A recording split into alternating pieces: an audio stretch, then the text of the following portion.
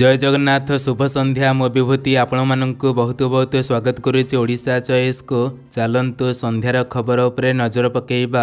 ନଜର ପକାଇବା ପୂର୍ବରୁ ସମସ୍ତଙ୍କୁ ସବୁଦିନ ପରି ରିକ୍ୱେଷ୍ଟ ଭିଡ଼ିଓକୁ ଶେଷ ପର୍ଯ୍ୟନ୍ତ ଦେଖିବା ସହିତ ସମସ୍ତେ ଭିଡ଼ିଓକୁ ଲାଇକ୍ ଆଉ ଚ୍ୟାନେଲକୁ ସବସ୍କ୍ରାଇବ୍ କରିବେ। ସବସ୍କ୍ରାଇବ୍ କରି ପାଖରେ ଆସୁଥିବା ଅଲ୍ ବେଲ୍ ଆଇକନ୍ ଦବାଇବା ପାଇଁ ଭୁଲିବେ ନାହିଁ। ଚାଲନ୍ତୁ ଖବର ଉପରେ ନଜର ପକାଇବା। ଲେଟ୍ସ ଅପଡେଟ୍ ରହୁଛି ଫେବୃଆରୀ ଦଶରୁ ଉଣେଇଶ ତାରିଖ ପର୍ଯ୍ୟନ୍ତ ରାଜ୍ୟର ସାତଟି ଜିଲ୍ଲାରେ ଫାଇଲେରିଆ ନିରାକରଣ ପାଇଁ ଓଡ଼ିଶା ସରକାର ସାମୂହିକ ଔଷଧ ସେବନ କାର୍ଯ୍ୟକ୍ରମ ଆୟୋଜନ କରିବେ। ବଲାଙ୍ଗୀର କଳାହାଣ୍ଡି ରାୟଗଡ଼ା କଟକ କନ୍ଧମାଳ ଖୋର୍ଦ୍ଧା ଓ ନୟାଗଡ଼ ଜିଲ୍ଲାରେ ଫାଇଲେରିଆ ପ୍ରକୋପ ଅଧିକ ରହିଛି ଏହିସବୁ ଜିଲ୍ଲାମାନଙ୍କରେ ଔଷଧ ମିଳିବ ସୂଚନା ଆସୁଅଛି। ପରବର୍ତ୍ତୀ ଅପଡେଟ୍ ରହୁଛି ଓଡ଼ିଶା ହାଇକୋର୍ଟର ନୂଆ ମୁଖ୍ୟ ବିଚାରପତି ଭାବେ ଶପଥ ନେଇଛନ୍ତି ଯଶସ୍ୱୀ ଚକ୍ରଧାରୀ ଶରଣ ସିଂ। ତେବେ ପଦ ଗୋପନୀୟତାର ଶପଥ ପାଠ କରାଇଛନ୍ତି ରାଜ୍ୟପାଳ ରଘୁବର ଦାସ। ଦିନ ଦଶଟା ସମୟରେ ମୁଖ୍ୟ ବିଚାରପତି ଭାବରେ ଶପଥ ନେଇଛନ୍ତି ଚକ୍ରଧାରୀ ଶରଣ ସିଂ ଏହି ଶପଥ ଗ୍ରହଣ ଉତ୍ସବରେ ମୁଖ୍ୟ ଶାସନ ସଚିବଙ୍କ ସମେତ ପୋଲିସ ଡିଜି ଓ ବହୁ ବରିଷ୍ଠ ଅଧିକାରୀ ଯୋଗ ଦେଇଥିଲେ। ପରବର୍ତ୍ତୀ ଅପଡେଟ୍ ରହୁଛି ରାଜ୍ୟରେ ଅଠେଇଶଟି ନୂଆ ଜିଲ୍ଲା ଗଠନ ପାଇଁ ଦାବିପତ୍ର ମିଳିଛି। ବିଧାନସଭାରେ କଂଗ୍ରେସ ବିଧାୟକ ସନ୍ତୋଷ ସିଂ ସାଲୁଜାଙ୍କର ପ୍ରଶ୍ନରେ ଏହି ଉତ୍ତର ରଖିଛନ୍ତି ରାଜସ୍ୱ ମନ୍ତ୍ରୀ ସୁଦାମ ମାଣ୍ଡି।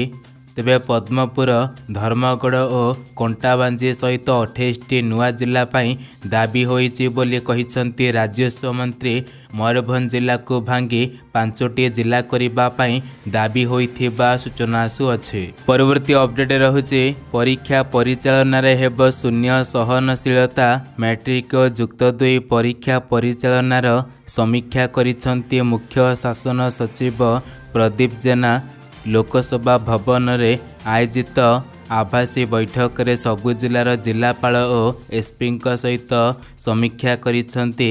ପରୀକ୍ଷା ପରିଚାଳନାକୁ ସାମାନ୍ୟ ତ୍ରୁଟିକୁ ବରଦାସ୍ତ କରାଯିବ ନାହିଁ। ଜିରୋ ଟଲେରାନ୍ସ ଭାବରେ ସର୍ବାଧିକ ଗୁରୁତ୍ୱ ଦେବାକୁ ପରାମର୍ଶ ଦିଆଯାଇଛି। ବୈଠକରେ ପ୍ରଶ୍ନପତ୍ର ନୋଡାଲ ସେଣ୍ଟରରେ କଡ଼ା ସୁରକ୍ଷାରେ ଯତ୍ନରେ ରଖିବାକୁ କୁହାଯାଇଅଛି। ପରୀକ୍ଷା ସେଣ୍ଟରରେ ନିୟୋଜିତ ପର୍ଯ୍ୟବେକ୍ଷକଙ୍କର ଉପସ୍ଥିତିରେ ସୁପରିଟେଣ୍ଡରମାନେ ପ୍ରଶ୍ନପତ୍ର ଗ୍ରହଣ କରିବେ। ପରୀକ୍ଷା ଠାରୁ ମୂଲ୍ୟାୟନ ଯାଏଁ ସବୁ କାର୍ଯ୍ୟ ନିର୍ଭୁଲ ଭାବରେ ପରିଚାଳନା କରାଯିବ। ପରବର୍ତ୍ତୀ ଅପଡେଟ୍ ରହୁଛି ବଡ଼ ପ୍ଲାନ୍ କରୁଛି ନୋକିଆ। ତେବେ ନୋକିଆ କମ୍ପାନୀ ଏବେ ଦଶ ହଜାର କର୍ମଚାରୀଙ୍କୁ ଛଟେଇ କରିବ। ତେବେ ଦେବାଳିଆ ହୋଇପଡ଼ିଛି ନୋକିଆ। ଏକାଥରକେ ଛଟେଇ ହୋଇପାରନ୍ତି ଏଗାର ହଜାରରୁ ଚଉଦ ହଜାରରୁ ଅଧିକ କର୍ମଚାରୀ। ଏନେଇ କମ୍ପାନୀ ପକ୍ଷରୁ କୌଣସି ସ୍ପଷ୍ଟୀକରଣ ଦିଆଯାଇ ନାହିଁ।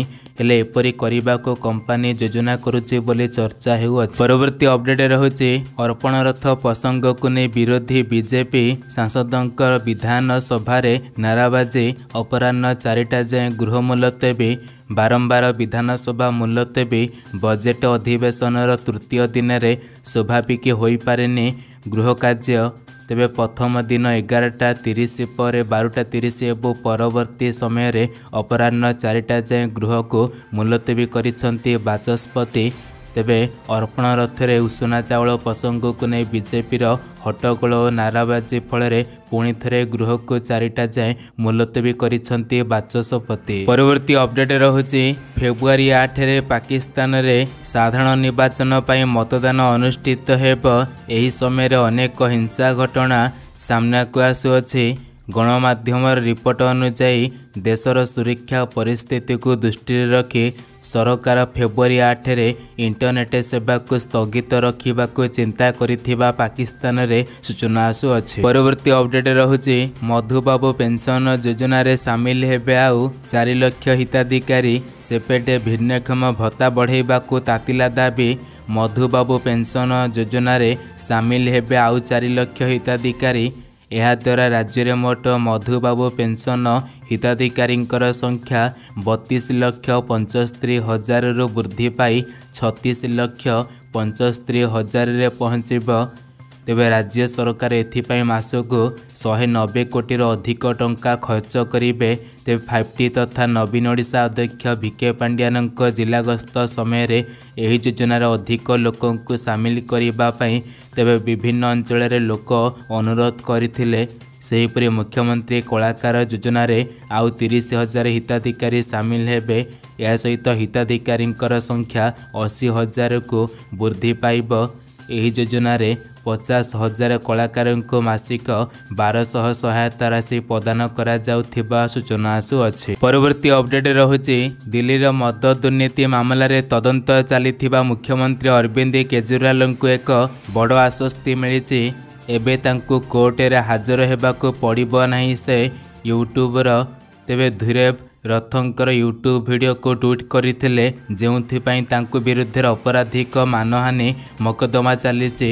ଏହି ପରିପ୍ରେକ୍ଷୀରେ ତାଙ୍କୁ ବ୍ୟକ୍ତିଗତ ଭାବେ ହାଜର ହେବାରୁ ମୁକ୍ତ କରାଯାଇଥିବା ସୂଚନା ଆସୁଅଛି। ପରବର୍ତ୍ତୀ ଅପଡେଟ୍ ରହୁଛି ପ୍ରଶ୍ନପତ୍ର ପଘଟ ନକଲ ରୋକିବା ପାଇଁ ଲୋକସଭାରେ ବିଲ୍ ଗୃହୀତ ସରକାରୀ ନିଯୁକ୍ତି ପରୀକ୍ଷାରେ ପରୀକ୍ଷା ପ୍ରଶ୍ନପତ୍ର ଲିଙ୍କ ଭଳି ଜାଲିଆତିକୁ ରୋକିବା ପାଇଁ ଲୋକସଭାରେ ତେବେ କାଲି ଏକ ତେବେ ଆଣ୍ଟି ଟେଷ୍ଟ ବିଲ୍ ଗୃହୀତ ହୋଇଥିଲା ତେବେ ସର୍ବଜନୀନ ପରୀକ୍ଷା ବିଲ୍ ଏବେ ରାଜ୍ୟସଭାରେ ଉପସ୍ଥାପନ ହୋଇଛି ଏବଂ ଅନୁମୋଦନ ମିଳିବା ପରେ ଏହା ଆଇନରେ ପରିଣତ ହେବା ରାଷ୍ଟ୍ରପତିଙ୍କର ମୋହର ଲାଗିବ ବୋଲି ସୂଚନା ଆସୁଅଛି। ପରବର୍ତ୍ତୀ ଅପଡେଟ୍ ରହୁଛି ଓଡ଼ିଶାରେ ବିଜେପି ବିଜେଡି ପାର୍ଟନରସିପ୍ ସରକାର ଚାଲିଛି ତିରିଶ ଜଣ ଉଦ୍ୟୋଗପତି ଓଡ଼ିଶାକୁ ଲୁଟିବାକୁ ଆସିଛନ୍ତି ତେବେ ପାନପୋଷ୍ୟ ଛକରୁ କେନ୍ଦ୍ର ଓ ରାଜ୍ୟକୁ ଟାର୍ଗେଟ କଲେ ରାହୁଲ।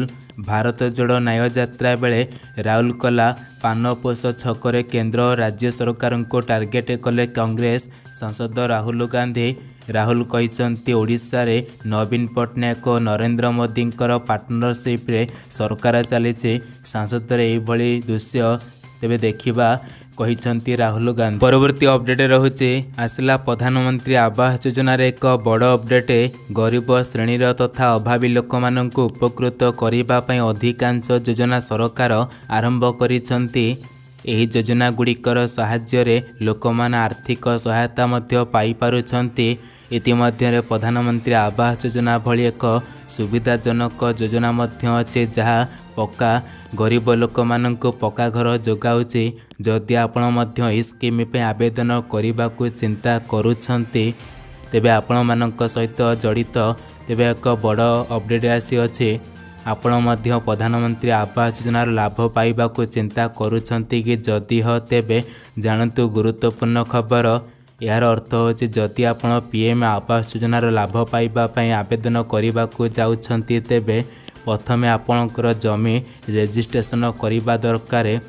ତେବେ ପ୍ରଧାନମନ୍ତ୍ରୀ ଆବାସ ଯୋଜନା ପ୍ରଧାନମନ୍ତ୍ରୀ ଆବାସ ଯୋଜନା ପାଇଁ ଆବେଦନ କରିବା ପୂର୍ବରୁ ଦୟାକରି ମନେ ରଖନ୍ତୁ ଯେ ଆପଣ ଏହି ଯୋଜନା ପାଇଁ ଯୋଗ୍ୟ କି ନୁହେଁ। ତେବେ ନଚେତ ଆପଣଙ୍କର ସମସ୍ତ କଠିନ ପରିଶ୍ରମ ପରେ ନଷ୍ଟ ହୋଇଯିବ ଏବଂ ଆପଣଙ୍କର ଆବେଦନ ବାତିଲ ହୋଇପାରେ। ତେବେ ସୂଚନା ଯେ ଜଣାଇବାକୁ ଚାହୁଁଛୁ ଯେ ଯୋଜନାରେ ଏବେ ହିତାଧିକାରୀଙ୍କର ଏକ ତାଲିକା ପ୍ରକାଶ ପାଇଛି ଯାହାପରେ ଆବେଦନଗୁଡ଼ିକ ଯାଞ୍ଚ କରାଯାଇଥାଏ। ଏହାପରେ ହିଁ ହିତାଧିକାରୀଙ୍କୁ ଟଙ୍କା ବଣ୍ଟନ କରାଯାଇଥାଏ। ଯେଉଁଠି ଘର କରିବା ଆପଣମାନଙ୍କର ପ୍ଲଟ୍ଟି ସମ୍ପୂର୍ଣ୍ଣ ରୂପେ ଆପଣଙ୍କର ନିଜସ୍ୱ ଅଧୀନରେ ଏବଂ ଆପଣମାନଙ୍କର ରେଜିଷ୍ଟ୍ରେସନ୍ କରିଥିବା ଦରକାର ଘରବାଡ଼ି ପଟା ଏପରି ନ କଲେ ଆପଣମାନଙ୍କର ଘର ମିଳିପାରିବ ନାହିଁ ଯାଞ୍ଚ ପ୍ରକ୍ରିୟାରେ। ପରବର୍ତ୍ତୀ ଅପଡେଟ୍ ରହୁଛି କାଳିଆ ଯୋଜନାରେ ଟଙ୍କା ମିଳିବ ପୁଣି ଚାଷୀ ଭାଇମାନଙ୍କ ପାଇଁ ଆସିଲା ବହୁତ ବଡ଼ ଖୁସି ଖବର। ଇତିମଧ୍ୟରେ ସବୁ ଚାଷୀ ଭାଇମାନଙ୍କୁ ଇ କେୱାଇସି କରିବା ପାଇଁ କୁହାଯାଇଅଛି ଯାହା ସୂଚନା ରହୁଅଛି ଏକ ନୂଆ ଲିଷ୍ଟ ଆସିସାରିଛି। ଯେଉଁ ସବୁ ହିତାଧିକାରୀ ପୂର୍ବରୁ ଆବେଦନ କରିଥିଲେ ସେମାନଙ୍କର ଲିଷ୍ଟରେ ଆପଣମାନଙ୍କ ପଞ୍ଚାୟତ ଲିଷ୍ଟରେ ଆଡ଼୍ ହୋଇସାରିଛି ଆପଣମାନେ ଚେକ୍ କରନ୍ତୁ। ଯଦି ଆପଣମାନଙ୍କର ନାଁ ନାହିଁ ଆପଣମାନେ ଷ୍ଟାଟସ୍ ମଧ୍ୟ ଚେକ୍ କରନ୍ତୁ ଗ୍ରାଭିନ୍ସ ନମ୍ବର ସାହାଯ୍ୟରେ ଆପଣମାନଙ୍କ ଟୋକନ୍ ନମ୍ବର ସାହାଯ୍ୟରେ ତେବେ ସୂଚନା ରହୁଅଛି ମାର୍ଚ୍ଚ ମାସରୁ ଆରମ୍ଭ ହୋଇପାରେ କାଳିଆ ଯୋଜନା ଟଙ୍କା। ପରବର୍ତ୍ତୀ ଅପଡେଟ୍ ରହୁଛି ଗାଡ଼ିର ଭଡ଼ା ବଢ଼ିଲା ଗାଡ଼ିରେ ଯିବା ଆସିବା କରୁଥିବା ଲୋକଙ୍କ ପାଇଁ ବଡ଼ ଖବର ଟ୍ୟାକ୍ସି ଏବଂ ଓଲା ଏବଂ ଉର୍ବର ପରି ଏଗ୍ରିଗେଟର ଅଧୀନରେ କାର୍ଯ୍ୟ କରୁଥିବା ଗାଡ଼ିଗୁଡ଼ିକ ପାଇଁ ଭଡ଼ା ବଢ଼ାଇଛନ୍ତି ରାଜ୍ୟ ସରକାର। ଗାଡ଼ି ମୂଲ୍ୟକୁ ଆଧାର କରି ଟ୍ୟାକ୍ସି ଗୁଡ଼ିକକୁ ତିନୋଟି ଶ୍ରେଣୀରେ ବିଭକ୍ତ କରାଯାଇଛି। ଏଣିକି ଦଶ ଲକ୍ଷ ଟଙ୍କା ମୂଲ୍ୟର ଗାଡ଼ିଗୁଡ଼ିକ ପାଇଁ ସର୍ବନିମ୍ନ ଭଡ଼ା ଶହେ ଟଙ୍କା ଚାରି କିଲୋମିଟର ପର୍ଯ୍ୟନ୍ତ ସ୍ଥିର ହୋଇଛି। ସେହିପରି ଚାରି କିଲୋମିଟର ପରେ ପ୍ରତ୍ୟେକ କିଲୋମିଟର ମୂଲ୍ୟ ଚବିଶ ଟଙ୍କା ହେବ। ଦଶ ଲକ୍ଷରୁ ପନ୍ଦର ଲକ୍ଷ ମଧ୍ୟରେ ଗାଡ଼ିଗୁଡ଼ିକ ପାଇଁ ସର୍ବନିମ୍ନ ଚାରି କିଲୋମିଟର ପାଇଁ ସର୍ବନିମ୍ନ ଶହେ ପନ୍ଦର ଟଙ୍କା ଏବଂ ଏହାଠାରୁ କିଲୋମିଟର ପ୍ରତି ଅଠେଇଶ ଟଙ୍କା ସ୍ଥିର କରାଯାଇଛି। ସେହିପରି ପନ୍ଦର ଲକ୍ଷରୁ ଅଧିକ ଗାଡ଼ିଗୁଡ଼ିକ ପାଇଁ ପ୍ରଥମ ଚାରି କିଲୋମିଟର ମୂଲ୍ୟ ଶହେ ତିରିଶ ଟଙ୍କା ଏବଂ ପ୍ରତ୍ୟେକ ଅତିରିକ୍ତ କିମି ବତିଶ ଟଙ୍କା ଭଡ଼ା ରହିବ ଜଣାପଡ଼ିଅଛି। ବାସ୍ ଏଇ ଥିଲା ଇନଫର୍ମେସନ୍ ଭିଡ଼ିଓଟି ଶେଷ ପର୍ଯ୍ୟନ୍ତ ଦେଖିଥିବାରୁ ବହୁତ ବହୁତ ଧନ୍ୟବାଦ।